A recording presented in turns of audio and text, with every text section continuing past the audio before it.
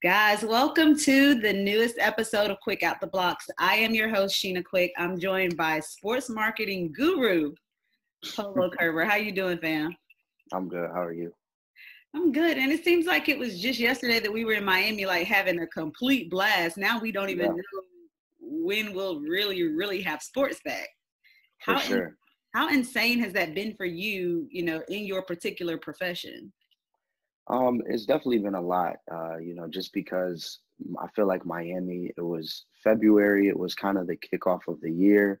And I was planning all the events that I was going to be doing, you know, leading up into uh, the All Star weekend, you know, the NBA playoffs, the big three, and then the restart of the football season. I felt like there was so much traction um, and everything was going good. And then I remember I was, I think Nate and myself actually were at the Lakers and Nets game. Wow. Um, and we stayed for the whole game. He wanted to leave early because uh, he didn't want to have to like meet everybody after the game and stuff. And then that was the that yeah yeah. it's just it's just hard because you you know you're at a basketball game. He's gonna literally have to like shake hands with everybody. And that's right. kind of like when the Corona had like we were actually like teasing about it. Like he's like, I don't want to shake all these people's hands. They might give me the corona. and we were kind of like joking about it at the at the time. Right. Um, and then that was that was the last basketball game. And um, you know, it's kind of just been been paused since then. So it's it's been um not challenging, but um definitely had to, you know, figure out creative ways to, you know, keep working and and keep the flow going for sure. So, why don't you tell everyone, give them a little background? Of course, I know what it is that you do, but for the listeners or viewers that might not know, just tell them who you are. You got some skin in the game. I appreciate it. Um, so, my name is Polo. Uh, real name's Napoleon. I go by Polo. Um, I have a sports marketing company. Um, I mainly work with NBA players and NFL players, um, just helping them to get endorsement deals. You know, if they wanted a a Coca-Cola commercial or a Nike contract, pretty much secure stuff like that for them, um, as well as doing different marketing opportunities, appearances, setting up charity events for them. Uh, uh, the event side is a little bit tough right now um, because I literally, I literally can't. But um, you know, lately it's just been helping them on their digital side, building up their social medias, um, engaging with fans that way. Uh, we've been doing a lot of stuff like different like Instagram lives or you know live video platforms, just ways to you know stay connected with the fans. And um, lately we've been doing a lot of Twitch. Um, definitely been getting a lot of yeah, getting a lot of the players into gaming because they're just sitting at home anyway. You know, you just train all day, and then what are you gonna do for the rest of the day? So you just play video games, and you know that's been interesting ways to kind of do a little bit of like you know, cross stuff where we could take, you know, a football player and a basketball player and have them play each other in like Madden and 2K, you know, kind of cool and stuff like that. Yeah, for sure. So who are some of your um I know you have tons of clients. Who are some of your clients like past and present?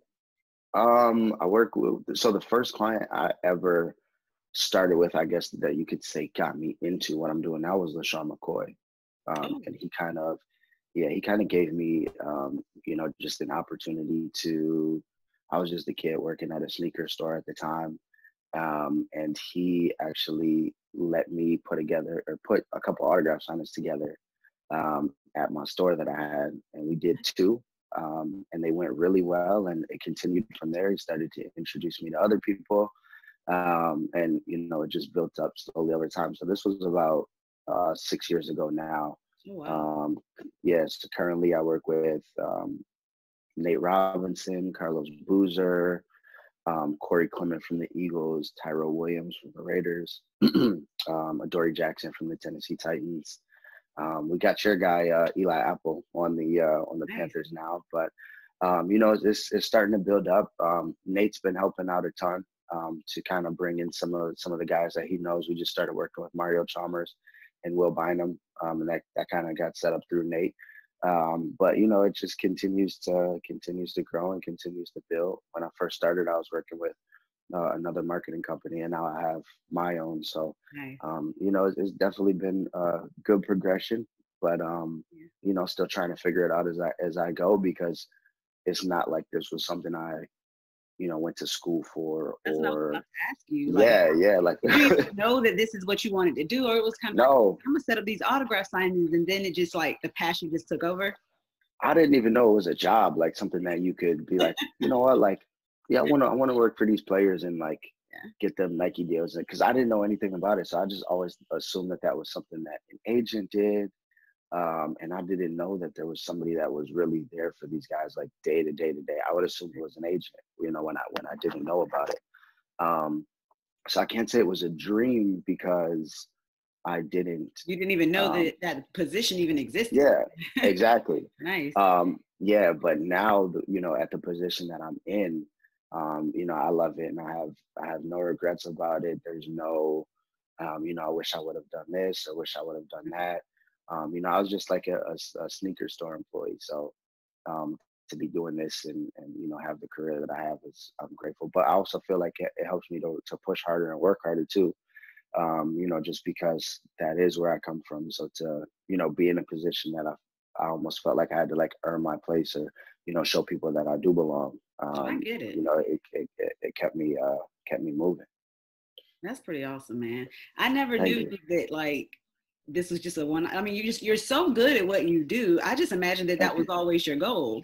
Like it's yeah. hard, guys. If y'all have ever seen him at these events, I mean, he is putting in work. He's so good at it. He's so well versed at it that you would never imagine that. You know, it kind of fell into your lap. It was something that you I didn't know that you wanted to do. So, hats yeah. off to you for that. Now, thank you. With that being said, now that you're six years in the game, if you had to say that there was one dream client that you don't have already, who would that be? Mm-hmm. Um, probably LeBron, just because you know, just um, like growing up, I, I, think I was watching him maybe since yeah. like seventh, seventh or eighth grade. You know, um, like 2002, 2003. Um, even before that, actually, you know, when he was like in high school, so like 01, 02.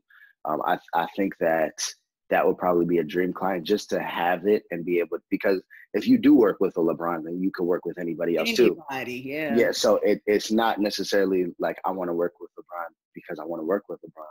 And he has a great team around him. So honestly, right.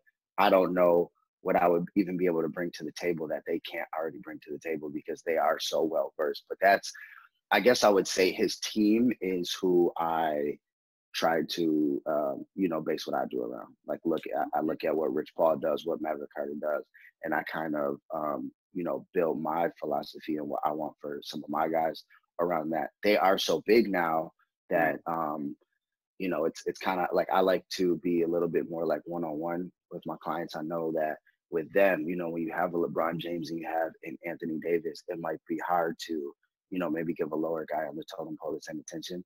So I think that that's that's really where I try to differ myself is if it doesn't matter if you're, you know, the biggest guy on the on the roster or the lowest guy on the roster, I try to give, you know, everybody the same amount of attention and um, give everybody the, the same amount of work. But I, I definitely think, um, you know, that would be would be crazy to to work with them or um, you know, do something. That would be it would be cool. Even if it was an event, you know, just like one event and we kind of did like a collaboration or something.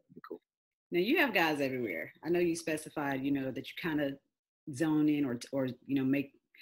I'm sorry, your roster has more mm-hmm. NBA and NFL players on it. Yeah. So with those players preparing to go to the Disney bubble, what yes. what effect does that have on you, if any? Like what it it's like logistically, you know, the big three was canceled, but a lot of those guys are playing in the tournament. Some of those exactly. those guys are playing in the five tournament in Vegas. Like you have yep. people all over the place. Whereas it might have been a little bit easier to maneuver between clients, but now it's like if you're in the bubble, you can't go out. So how exactly. is, have you figured out any type of strategy kind of as sports slowly starts to creep back in? It's definitely a learning curve because um, we just started getting into soccer too. So we have like some soccer guys wow. in the bubble. So the the problem, not the problem I would say, but the difficulty the, or the challenge. Yeah, the the challenge is that you know you have so many things that are kind of popping up where you know that there's this NBA bubble. You don't know hundred percent if it's even going to happen, and then if it does happen, you don't. I don't know if Larry Sanders is going to get a call to you know join a team like who's who's going to back out of the bubble or who might catch coronavirus or who's going to say i don't want to play because social injustices or you know and then yeah it, it could be a point guard so then that might have nothing to do with it so it's really just like almost like sitting waiting. there waiting. Yeah. I'm literally just waiting. Um, compared to when there's a regular season, I can maneuver where I can say, okay, cool. I know the Raiders play the Bills week four in Vegas, so you know I can set up some events here with Ty, and you, you know focus know on that. I I don't know, and and then I don't know, you know what's open, what's going to be open in the future. Um, so it's even hard to plan things now for once this is over because I don't know, you know, when things are going to be over. So it's a little bit, um, you know, difficult just trying to like really maneuver that. And then the schedules are changing so much. So even in like, you know, the last week, Nate was going to play in the TBT tournament and then he couldn't get his coronavirus testing in time. So then that pulled back. And then now he's in the five tournament um, in Las Vegas, which, you know, is cool. But then that switches where, you know, we're going to be in Ohio for this amount of time to now we're going to be in Vegas for like a 10 day period. And then, you know, he's he's at the process of like trying to come back too. So I don't know if he's gonna come back. If an NBA team will want him, um, if not, we're we're gonna look at doing some overseas stuff. Um, but Nate's the one that I work with. Yeah, he's in he's in really good shape, and he you know he's he wants to to prove that he can still play. Um, so you know then that goes into that's probably the guy I work with the most like hand in hand, like day to day, and then that means that my main client would be in Australia while still trying to, you know, work with everybody else. Then it breaks down into different time zones. Um, you know, we're working with like different companies. So we have a company we work with in Hong Kong, one in Australia, one in Paris, and then here, well, I'm in uh, Los Angeles now, and then New York. So you have a three-hour time difference just in yeah. Uh, in America, you know, and then and then you go, you know, now you're looking at 12-hour difference, 10-hour difference, 13, you know. So it's it's um it's like an all day kind of thing, you know, where I can wake up to, um, uh, you know, here at a normal time. I can wake up at, you know, eight o'clock and it's already 11 o'clock in New York. And then so everybody's working already. They've been working for two hours. And then you have people in Hong Kong who are trying to reach you before they go to bed or, you know, people in Australia who are getting ready to wake up in a few hours from now. So um, it's definitely uh, a, a, a challenge just to try to, you know, maneuver all that and, figure everything out. Honestly, you're the first person that came to mind when like all these. I'm like, how is he going to do this? I have got to ask him. Yeah. because you know, NFL they just cut the preseason down to two weeks. Exactly. Um, you have different players in different states going back to work at different times. You know, the Panthers are hoping to have training camp in what I think it's like maybe 23, 22 days at this point. No one knows if it's going to happen. And so you have these one, you might have this camp start and then this camp in this city can't start because X amount of tests came back positive. Exactly. Like, so that's, you were the first person that came to mind when I was thinking about it. I'm like, how is he going to do all this? Cause I'm trying to figure out yeah. how I'm going to do it. For sure. I'm supposed to be in Vegas also for the five tournament, but I'm like, do I want to go to Vegas? Let me look yeah. at what their cases are. Where am I going to be staying? Like, am I going to be safe because I have to come back home to children? It's so exactly. many different factors. And yep. that being said, and this you now having your own agency, I know that you could pro- probably definitely use the help, but you are dealing with high profile clients and sensitive yep. information. How difficult is it to expand your team? Because you're going to need to expand, obviously, because of situations exactly. like this with the logistics yep. and your workload. So, talk to us about having your own brand and being so mm-hmm. protective of that brand because you know how hard you worked to start it, to build it, and to build the reputation. What type of challenge does that pose when you're trying to expand it? Um, right now, it's definitely hard because when you're getting into expanding, we are more than likely going to be working with somebody that has little to no experience because they're trying to get into that. So then, right. if it's a challenge for me to figure out how am I supposed to teach you it's almost like a relationship it's like how can i love you if i don't love myself kind of situation yeah. you know where it's like how how am i supposed to um you know teach you how to do these things when i'm still learning how to do these things. It's not when it's regular where i can say okay boom boom boom this or, is what you need to do or even can, shadow me and, and see how i do things because this, exactly exactly so many, you know there's there's there's so many hurdles and variables that it's it's almost like you know maybe if you did shadow me right now you might think uh, it's an unprofessional situation or think that it's not something that you want to do but it's just because you know the way that it is right now right. um it, it makes it a little bit difficult i do have so the way that the company is broken down is i focus mainly on um, athletes, and then we have uh, my business partner does uh, social media influencers, and then my other business partner does musicians. So I do have a little bit help there in you know okay musicians can't go on tour right now so right. you know he he might have a little bit more time where he can say all right cool they're not doing anything i can kind of come over and like help you a little bit so um, we do have that and and i i do have um, a great intern grant that that works with me um, and he was around before all of the the craziness kind of happened um, so he's he's been good and in in helping me and, and, like i said you know my business partners you know we've kind of just been able to um i guess shift the gears of, of where our focus is will normally be at mm-hmm. um but it's it's you know definitely something that's hard like i can't expand right now for sure right, right. um and then trying to I, I, guess maneuver and, and figure out what i'm maneuvering that's um it's definitely difficult so before all of this happened, did you have a five-year plan? Like how do you go about setting go personal goals as well as like professional goals for the whole agency? For sure. So I would say that personal and professional just um with myself. And actually I, I don't wanna I don't want to say Corona was it's all bad because it has helped me a lot to be able to.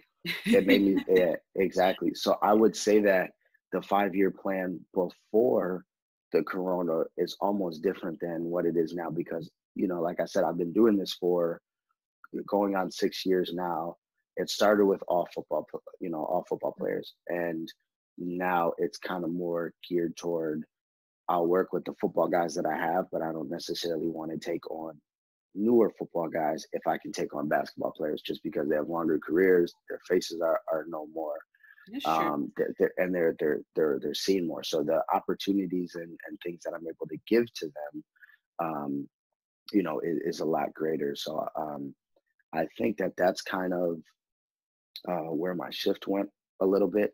Right. The only thing though is that with basketball players, because they are so big in football, you won't see an agent marketing their player. You know, where right. you, you might see Tyreek Hill might be signed to one agency, but then he has a different marketing, marketing guy. A different agency, yeah. Exactly.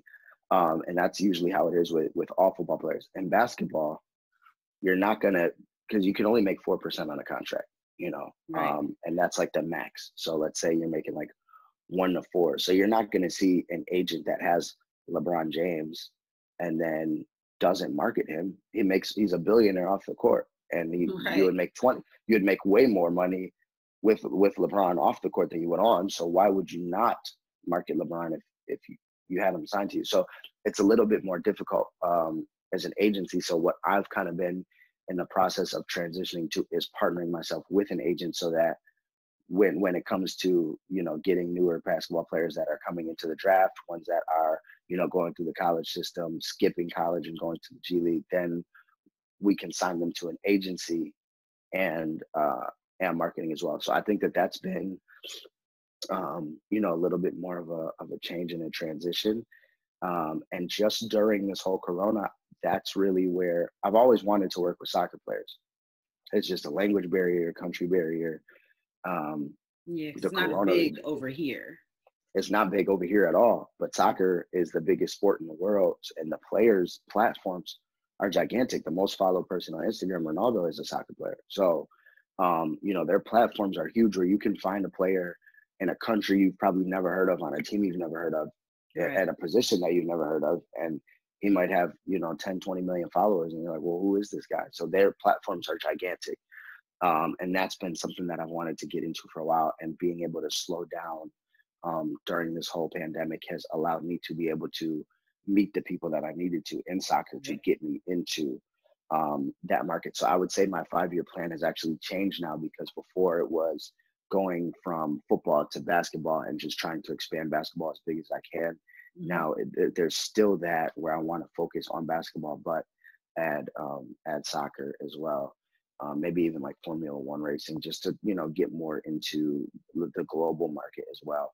Um, you know, because even though those guys are bigger overseas, America is still the number one country for sports marketing. So a lot of those guys will sign, you know, they'll sign with you just because you say I'm I'm a, I'm a sports marketing rep from America, and um, you know they don't really have a lot of representation over there as far as like individual players.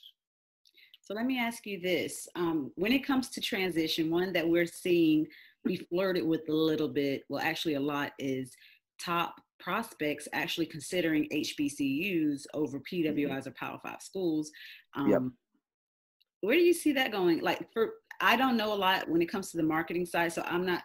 What I'm looking at when I'm hearing this is like, okay, I think it's a great initiative but how are the HBCUs going to challenge the Dukes, the Kentuckies, you know, For these sure. perennial powerhouses where, you know, they have all these different offers and all these things to lure you. You from a marketing standpoint, if some if you have the talent, you have the talent. Does it make a difference coming into the NBA or into professional basketball, whether it's overseas or not? Does it make a difference if a player comes from an HBCU versus a Power Five school? Or I don't think. I don't think in 2020 it will make a difference or, to, or going forward. I don't I don't think it will when you have a player like Mikey Williams, for example, who said he would play at an HBCU. He's a freshman in high school and has 2 million followers on his Instagram platform, more than that on his Instagram platform. So mm-hmm. as he continues, he, he has three more years in high school. So, you know, by the time he graduates high school, he might have six, seven million people that are watching him I think he's doing more for that school. He's putting that school on that platform. It didn't matter if Zion went to Duke or if he went to, South you know, South Carolina State. He could have went to Grambling. He could have went anywhere. He was going um, because it's Zion Williamson. So I think for him, it was just more of like showing people I can compete at a competitive level. But his name was going to be big regardless. LaMelo Ball plays in Australia still probably going to be the, the, the number two pick, and he's still huge. Granted, his dad does do a lot for him. Right. Um, so really, it really just depends on what you're able to do, you know, on the platform that you're given. Especially when you're at the position where, you know, you might be going into college and you can make money off your likeness and do other things like that. You know, there's plenty of companies like in Overtime or a Ball is Life or a Slam magazine that might just give you a contract as far as you know kind of like pushing your name up that way to build you up you know and you don't really need to be at that big school. Um, I, I, think it's just the big schools now might turn into more of um, you know i want to go to duke because i grew up watching duke or i want to go to north carolina because i, I grew up watching north carolina um, or you know you just want the high competition. But as far as um, you know, the marketing and, and the name behind it. You know, nobody look how big Ja Morant is, you know, and nobody knew him before the, the NCAA tournament. So I, I, don't think that. I, I, think now social media is so big. Um, just media period. Whether you know, seeing seeing highlights on the TV and Sports Center, you know, top ten clips, or going on Instagram and seeing someone House of Highlights, or you know, seeing something on um, on, on overtime or anything like that. You know, I, I think, or, or quick out the blocks. You know, I, I think that to, to do stuff like that, um, it doesn't matter what school you're at. Do you think that that'll pose a challenge? The NCAA ruling about, you know, possibly allowing the athletes to make money off of their likeness. Does that mm-hmm. impact your your industry? Does do you yeah, think that in a good way? Right. So you'll be able to yeah. actually rep college players and not yeah. face any type of fines because exactly we help to get their name out there. Okay, that's exactly. yeah, that makes sense. Yeah, so it it'll help in a good way because I don't think that they can sign with an agent still. So I kind of get like the heads up in there where you know I can help them to bring in money throughout like this certain period of time before an agent can even talk to them. Um, you know, because I'm I'm just doing marketing stuff for them. But yeah. I, I also feel like it helps because you're going to get to a position where you might have a school like like a Duke who has a big a big backing as far as boosters and you know everything like that. So you might have somebody at Duke that's like, yeah, hey, you know, come here, I own this car dealership. You know, we want to make you the face of the car dealership for a season. You'll get a hundred thousand dollars. You got to do two meet greets, you know, or something like that. So even to be able to you know, work with some of those players, look through those contracts, kind of like help them, you know, pick what what the best deal is and, and make sure that they're good. Um, you know, I think that that that can only help. you know, and, and you kind of get a head start to be able to show a player, hey, this is what I can do before you know you're even allowed to to sign them, and you can actually show them something. Show them what it is. Yeah, now it's like a trial almost.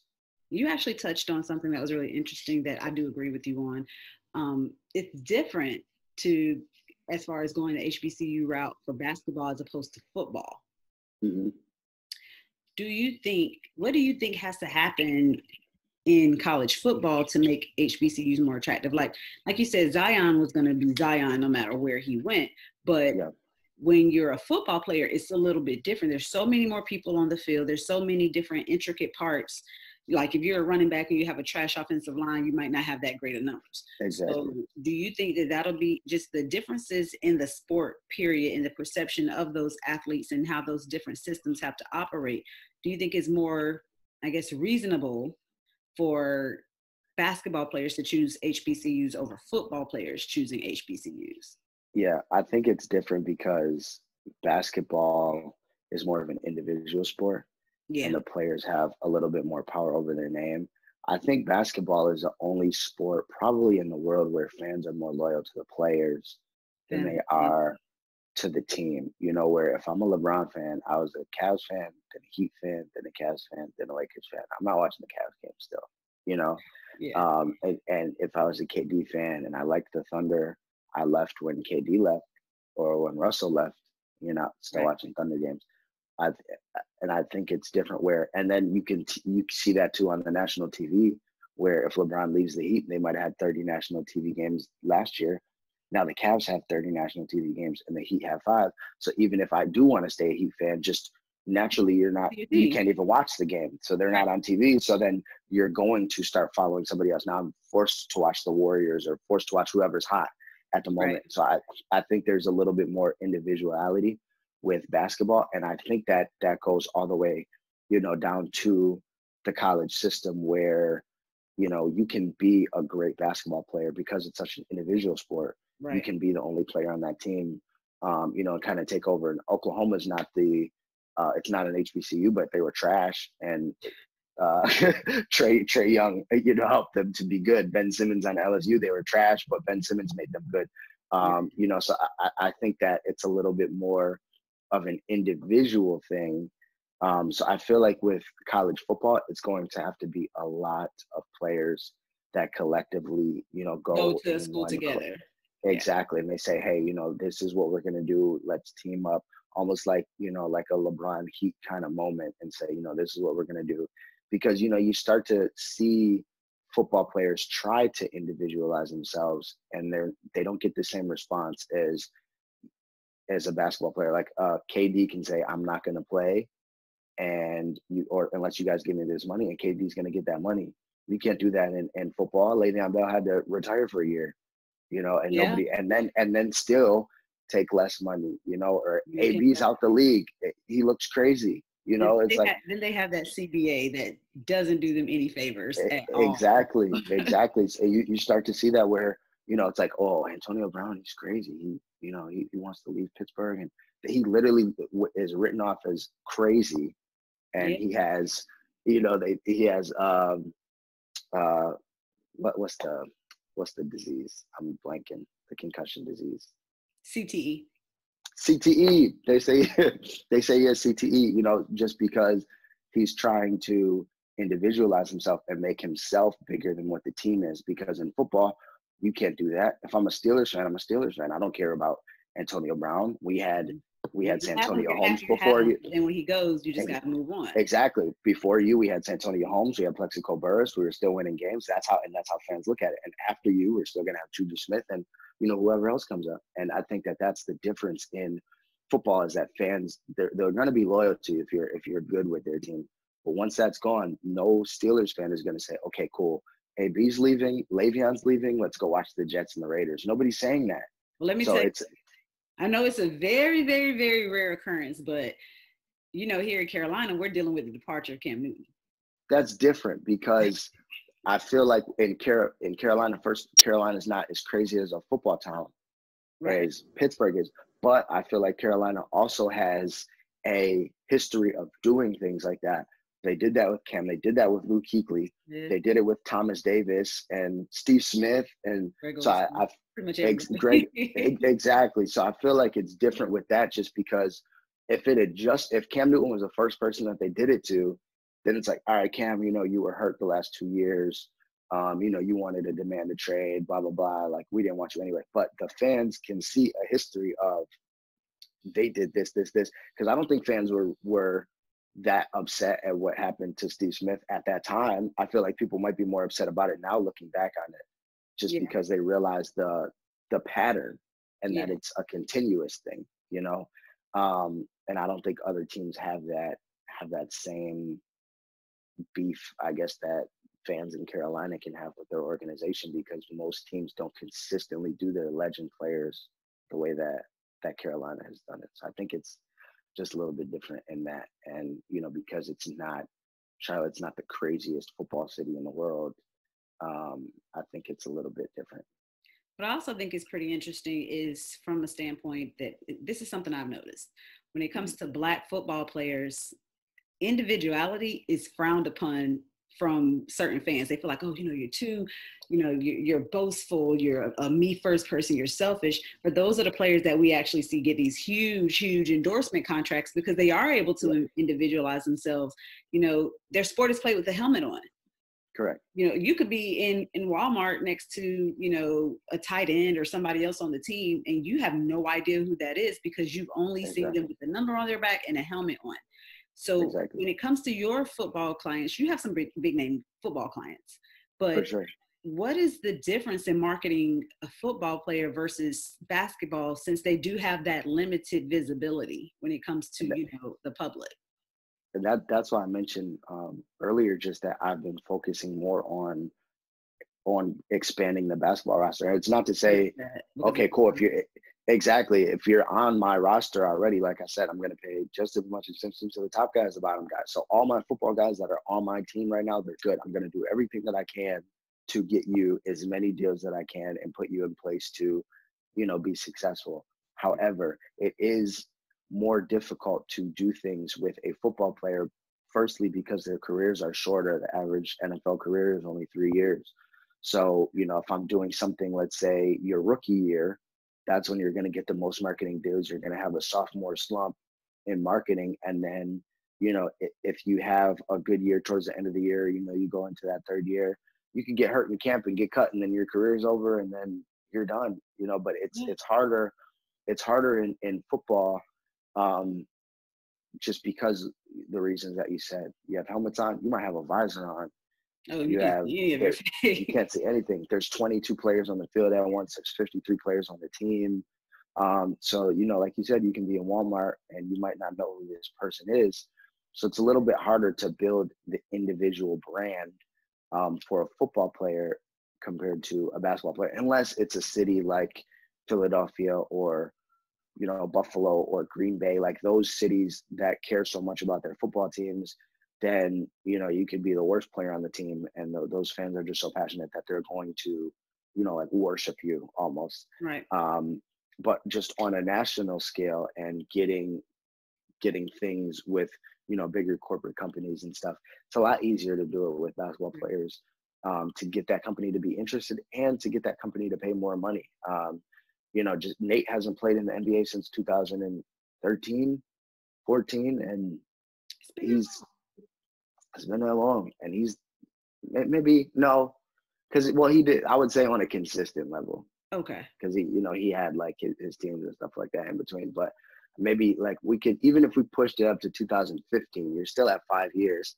Yeah. But he can't go. He can't go anywhere without being recognized and you know being stopped. He, he literally has to plan extra time in his day to go to the airport because he knows he's going to get stopped by so many people. To take a picture.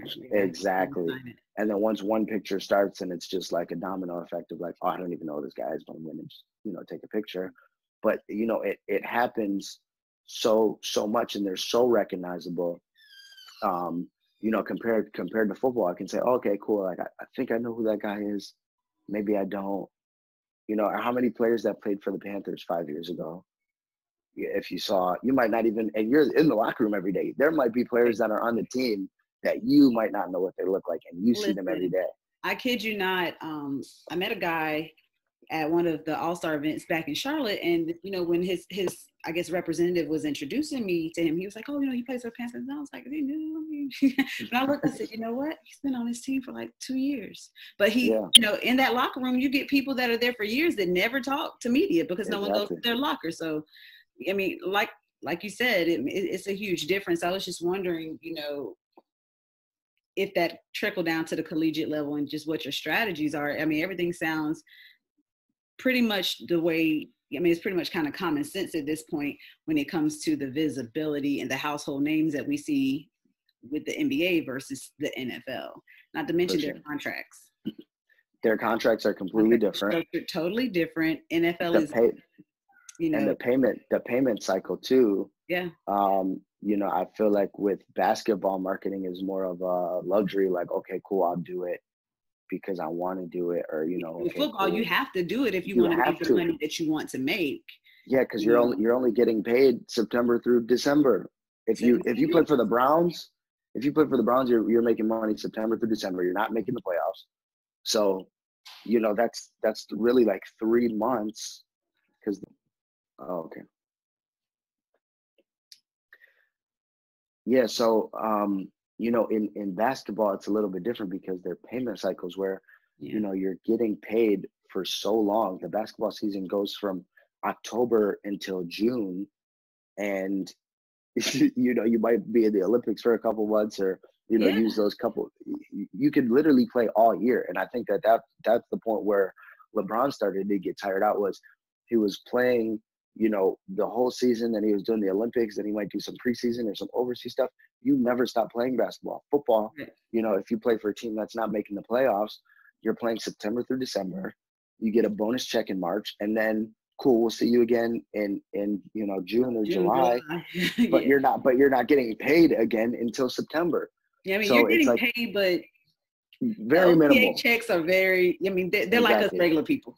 exactly. Yeah, it's like uh it's like a normal person check. So, you know, to get that that NFL money that, you know, everybody thinks that you're making, you have to wait until September. I hope you make the team. And um, so to do marketing, it, it's more important, I would say, to those players, but it's also harder. Um, you know, even to take a guy like, I mean, Tom Brady is probably he's the best player of all time, so he's fine. But you know, if you take somebody like Odell Beckham, who had all these opportunities when he played for the Giants, and he goes to Cleveland, he's still Odell Beckham, but he's not getting. You're not seeing. The market him. is different. Like it's completely different because yeah. he's in a smaller, a smaller city. Granted, it's still a football city. He is still Odell Beckham, but it's completely and different. It is Browns.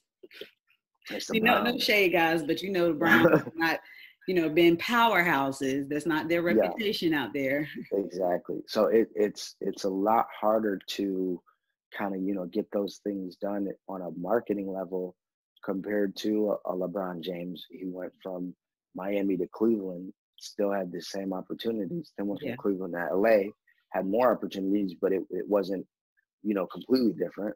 But he right. could go back to Cleveland again and get those same opportunities because how big he is individually um, on a basketball court. And, you know, football, I don't know if it could ever be like that, you know. Um, just because of what I was saying with like the loyalty of the fans and how they are to their team. Right. You know, there's there's no giant, maybe a handful of Giants fans that might have started watching the Browns just to you know go around with Odell Beckham. Right. Um, but then probably realized that the Browns were still going to Brown, and then started watching Giants games again. You know? It's such a shame thing to say. like Cleveland's going to Cleveland. Yep. But, um, I've seen you in so many different walks of life. Of course, you know I met you when with through Devin Funchess when he had his um, his Christmas and his cooking um, events during his yes. last season here in Carolina. Then came across you again with Big Three with Nate Robinson and everybody else. So mm. I have to ask, you've been around so many different personalities. What's your funniest like sports marketing story? Oh, you can change the names to protect the guilty if you need to. I I just feel like I'm caught off guard. I wish I would have known that question going into this. Let me um But see that's why it's better because you have to just off the cuff. Off the cuff. I know, but like I'm drawing a blank, almost like I have no stories right now. I'm trying to think. um, funniest story. I don't know. I'm just like in my mind, I'm only thinking about like crazy things that fans do. I'm trying to think of, you know, more of like a funny story or a situation. It can be a fan. It can be a fan um story. And and the only one I'm thinking of off the top of my head, I'm, I'm sure there's plenty more stories and like crazy moments. I might even remember one later in the conversation, but I do remember um, Nate and I were walking in New York. I think we were trying to get where it was it was last summer when the Popeyes biscuits were or the Popeyes the Popeyes chicken, chicken sandwiches. and Nate Nate wanted a Popeyes crispy chicken sandwich. Like so we were going to all these different Popeyes to find this crispy chicken sandwich. Everybody was sold out. So we're like walking the streets of New York looking for one. And there's a dude who's down the street, but across the street. We're walking like towards each other. So we're gonna pass each other, but across the street. And mm. he he knew it was Nate from across the street. So and we saw him look right at us. So he he keeps going, but then when he gets to his intersection, crosses the street, runs back down the street to get in front of us, then like ties his shoe or something like that, looks around and turns around just to walk past us again. And then he's like acting like he's on the phone and he's like, Nate, Nate Robinson? and it was like, it was so funny. Yeah, that thing rehearsed. He had it rehearsed. He was ready. Like he, he literally ran across the street, crossed, ran in front of us, and then turned around and then acted like he like didn't know chance, almost. Like he can't like, like it, upon you guys. Exactly, like by chance. So that was like and Finns do like crazy stuff like that, like all the time, or you know, that that was just like something that I just got a kick out of it because I thought it was like funny because I've never seen anybody do that, you know, and like even when when we're like sitting down and like eating at a restaurant stuff, people like come up to us all the time, and I can't imagine ever being in a position where I could see somebody that I want to meet, and I'm like, you know what, let me just like go walk up to this dude while he's eating and sit down at his booth and like ask to take a picture or something. Like I can't imagine doing that. And then if I oh, if I did, if I did, I can't imagine getting the response I would expect. It's almost like a don't meet your heroes kind of thing. Like, cool, like, oh my gosh, there's LeBron James. Let me go sit down, and get Jazzy Jeff off the table. Right. I can't imagine I can't imagine that going in a good way for me, I guess. So and the thing about um, it is um, Nate Nate's really good about that stuff. I remember interviewing him last mm-hmm. summer. He was like, you know, I'm never going to turn down a picture because I was that kid. Mm-hmm. I don't know how it is with grown-ups, but he's like, you know, I was I was that kid. Yeah, he, he, in the picture. he does that with, with grown-ups too, but he's yeah. he's really good about that. Um, have you ever had a don't meet your hero situation? Where, um, where, where an encounter wasn't quite what you had always imagined it to be? no, yes and no. Yes and no. I feel like usually, especially the, the situation that I'm in now, I feel like usually when I when I meet somebody, even if I just go up to them and talk to them, once I introduce myself, then it's more of okay, cool. He's not a fan. He's, you know, he wants to have a conversation, right, right. blah blah. And it's more of like a relief, almost like, okay, cool. This this is this person yeah. who works with these people. Um, so I feel like it's been more okay there. I was like my two heroes when I was growing up. I played high school, like I wore their numbers in high school. Um, did like everything on the football field that I could based on T.O. and Ocho Cinco.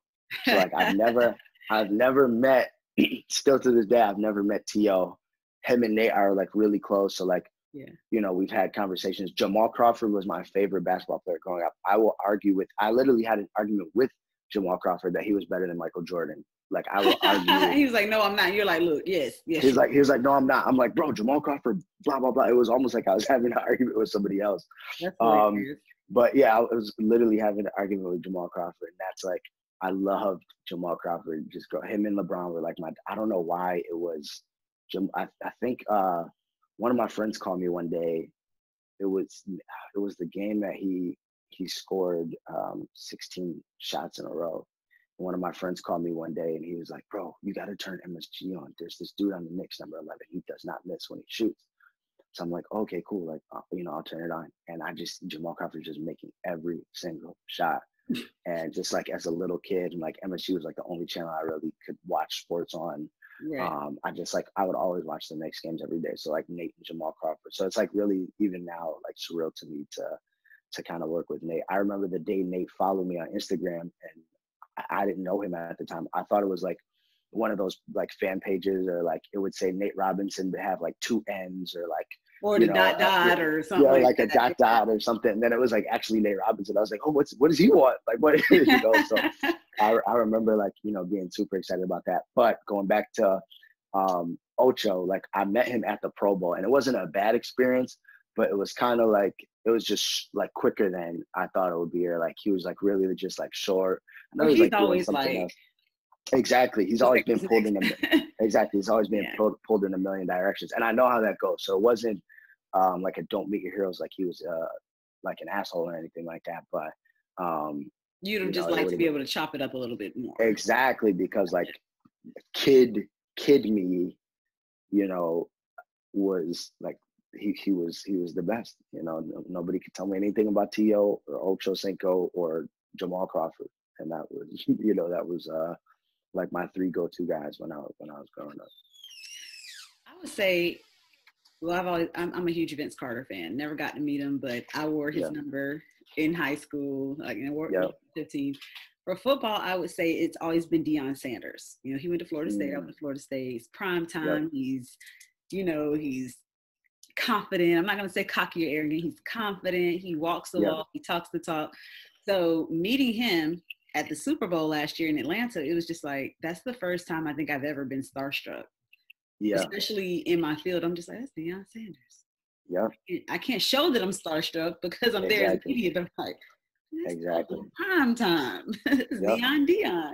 Yeah. So I, I, totally uh, get it. I totally get I feel, it. I feel like I get like that a lot of times um, you know where where it is you have to be cool but yeah you know there is like a, a like a little bit of just like you know geeking out and like i listen to the migos all the time so i think like now i've i've met quavo a bunch of times but i had never met any of the other ones and offset is my favorite rapper in the migos so even like this last weekend um you know just even like meeting and I didn't even know he was that I was going to meet him.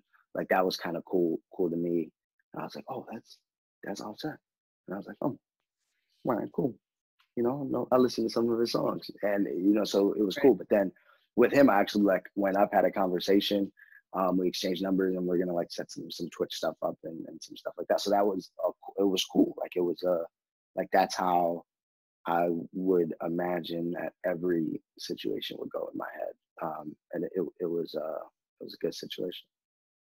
And I meant to ask you earlier. I don't know how that even how it even slipped my mind. Um, in addition to the coronavirus, mm-hmm. we've had this this unrest, this civil unrest that has bubbled to the surface um, yeah. with the killing of George Floyd, Breonna Taylor, Ahmaud Arbery. Yeah. Do you do you have you had a lot of opportunities coming in for your from for your players or for your clients rather um, from the aspect of like trying to get a statement or you know how are they going to express themselves next season if there is a next season like you know how how has that been as far as navigating that because most if not all of your clients are minority male black men yes yes have you guys had any you know even if it wasn't professional have you guys had personal discussions about what's going on and and um, I guess how how or if they want to speak up. Has that been hard? Yeah, so we have had personal discussions a lot. Um, Nate's been speaking out a lot on his Instagram. He actually got banned from Instagram now for doing um, wow brand. He's not on there right brand. now. He's on Instagram, but he's banned from doing brand partnerships because of um, his his outreach in That's um, insane in social injustice. Yeah, it's crazy. So like I've I've been seeing a lot of people that have been speaking out. They'll get like shadow banned, which is pretty much where, you know, if you type in somebody's name, it doesn't really show up. Like somebody has to like add that person, you have to click it. Um, yeah. Their post, their post up to, you know, they start to not show up as much. The um, algorithms, so you don't get exactly. the engagement that you would normally get. Ex- exactly. Yeah. Um, so I've actually seen that with Nate, where we had, I think it was BodyArmor, I was doing something with, and I went to go um, do it as a brand partnership and it only let me add the location. It didn't let me add a brand partner. So I was like, oh, that's weird. Maybe, maybe it's just like down. Maybe it's today. down. So then, or, yeah, yeah, So then I, yeah. so then I switched over to my personal Instagram, and it was there, and I was like, huh, that's weird. So then I went to Nate's page and went into the actual settings, and it said that um, he didn't meet the community guidelines because of that and it was literally because of that because right before that i did one and it was fine um, and so i've been trying to reapply to get it you know reinstated and everything but um, i know he's had a lot of like public outreach about it as well as you know larry sanders um, we also stopped for a while of doing you know the brand partnerships just to not seem you know too insensitive with like okay cool rest in peace george floyd but buy these donuts from you know, yeah. John's Bakery, you know what I mean? Yeah. So like we we we stopped doing a, a, lot of the brand partnerships and then kind of assessed the companies that we were working with and you know where they stood um, on the situation. Um, you know, and figuring out like if there were if those were brands and, and um, companies that we wanted to continue our, our relationships with. Um, and there were even a couple, you know, that we pulled back from and and kind of separated ourselves from just because of you know where, where their standings were um, you know on on the issues but i had always wondered that i mean because it's like this is what's going on but then people are still having to do business and you're having to kind of amp your business up to kind of mitigate the coronavirus um, exactly. losses that you that you've established so it's kind of hard trying to figure out when it's okay to resume your normal activities. However, still speaking up because it's a movement, not a moment. Yep. So I, exactly. I, would imagine that that would be one of the challenges when it comes to you know the marketing profession and having athletes that are speaking up that might not necessarily have said anything when it happened to Mike Brown, but since then we keep getting all these hashtags, and these are men exactly. and women that are black. So you're gonna feel some type of way. Most of your clients have kids. Yeah some have black boys that are going to grow up to black men so I, I, could definitely see that being a cause that they would want to speak out on and then kind of having that caveat of okay well this is going on with my people. The coronavirus is what's going on with the country. What's going on with my professional life and when can i resume? So thank you for shedding exactly. some, some, light on that. Of and course. we're about to wrap it up. I know i've taken a lot of your time. Cool. you're super are you in la now or, or vegas I'm in LA right now. I'm gonna go to Vegas after this for the for the five tournament. For the five tournament. So I will most likely yeah. see you there. But in the meantime, Perfect. please tell the listeners and viewers where they can find you on social media, if they want to follow in, you know, kind of just see what you have going on, how you bounce back from this COVID and how you start to resume what as close to real or, or normal life as, as we can possibly get.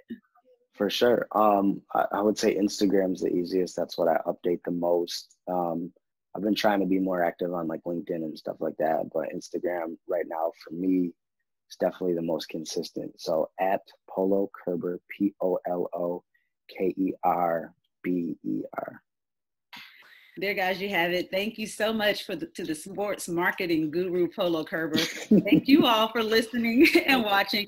Make sure you um, follow us on instagram and twitter. Um, instagram sheena underscore marie the number three and quick out the blocks. Just quick out the blocks on instagram. On twitter it is underscore qotb underscore.